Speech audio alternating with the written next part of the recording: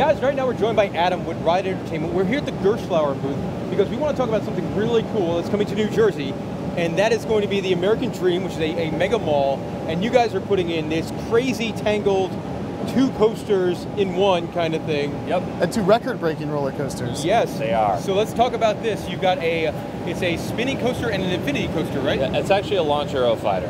A launch so, Eurofighter. So what it is, it's the clone of Takabisha. That's at Fuji-Q Highlands. We had that layout done already, and it fit the space that American Dream had. And then we wound the spinning coaster through it to really create a really unique experience. And I, I know if, our listeners out there would know Hyde, who's been on, traveled all over the world. Takabisha is his favorite out of any of those rides. Yeah, it's a fantastic thrill, and I really like on that particular ride the combination of a launch and a lift on the same coaster.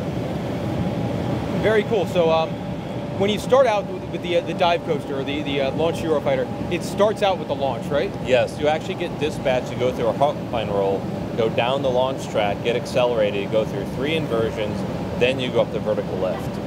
It's crazy. Now, this is going to be built in a mall, which is about kind of baffling.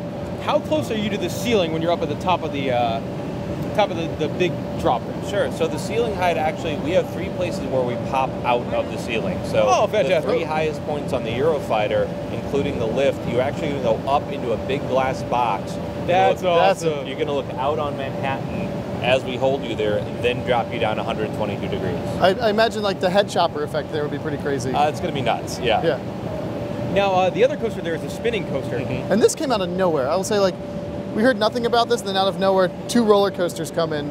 Kind of a big surprise announcement, especially the, the long spinning coaster, the Mhm. world's longest. Yes, yeah. So, and we're actually calling it the world's uh, longest free spinning coaster and the world's tallest free spinning coaster because there's some, something opening uh, in the middle of the country next year at SDC. It's going to actually uh, be taller, but that one actually has some magnetized reduction on it, so you don't do any free spinning. This one is our traditional Gerstlauer free spinning coaster. Now, the question on my mind: How the hell did you guys design that roller coaster to go in between the other roller coaster? It took a lot of time and work because uh, Andreas, our chief engineer, not only had to do the design work just to get the columns and track to fit. Uh, on the spinning coast, we have a lot of block brakes, so all that emergency egress also has to be Oh, threaded down think about through the that. ride. So you're going to have an amazing amount of head choppers on both the spinning coaster and the Launch Eurofighter. And I love on the model, they actually had like the evacuation stairs built in there, so we can actually see all of that. We were noting that earlier. We're like, oh, they took the time to put all of that in yeah, there. Yeah, pretty much every detail's in there. It, it is something else. It's just going to be. It's very much like you and I both had to transfer our Smiler over to England. Yes. And it's almost as fun to watch as it is to ride. And I think this is going to have a lot of that same thing. Yeah, there's going to be a lot of kinetic energy in the area. We have six vehicles on the Eurofighter, eight on the spinning coaster. Oh, that's fantastic. Can you imagine all of them going at the same time? It's just going to look crazy.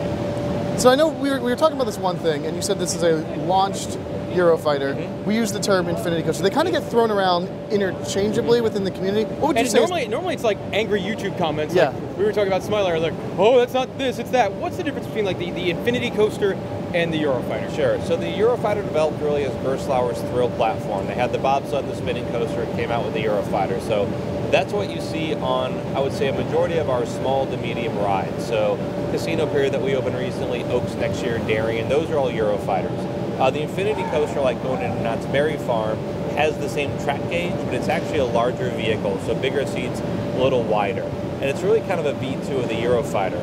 Um, we use that on most of the larger layouts that Gerstlauer does now.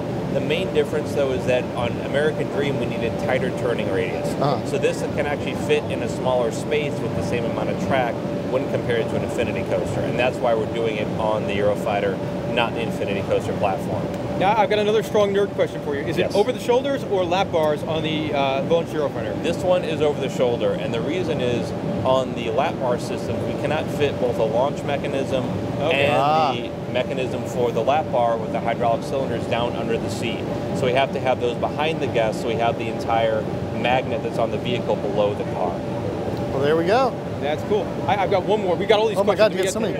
Uh, uh, real quick, if Park has an older Eurofighter, could you retrofit it from over the shoulders to lap bars? Unfortunately, no. Okay. The, the difference is we have, I think it's several hundred kilograms worth of additional weight for housing that we need to do Okay. when we move those cylinders down under the vehicle. And since they were kind of engineered to X weight, we can't just put Y weight on it and make it work. Yeah. Or else Z is going to fall apart. Yes. Exactly. All right. I guess Drew, do you have any more questions? No, I'm good. I, I, I've got one more. I just want to know what do you think is going to be the best part of the launch coaster, and what's going to be the best part of the spin coaster going into Jersey? Best part of the launch coaster is definitely going to be just being held out top. When you sit there 150 feet in the air and you're looking straight at Manhattan, I mean, that at night, Yeah. that's going to be unbeatable. Spinning coaster is just, you're going to get lost in that because you're spinning in every direction, plus going through 685 feet of track. You're not going to know where you are the entire time. It sounds like it's going to make me dizzy. It, it, it might, It might, yeah. but uh, I can't wait. And this is going to open up in New Jersey at this new mega mall, and it's 2019 project. 2019, yeah. All right, my friend. Well, we will be there. Yep. Once it opens up. Adam, Thank thank you, you guys. very much. Happy great, to. great roller coasters you got going on here. Thanks.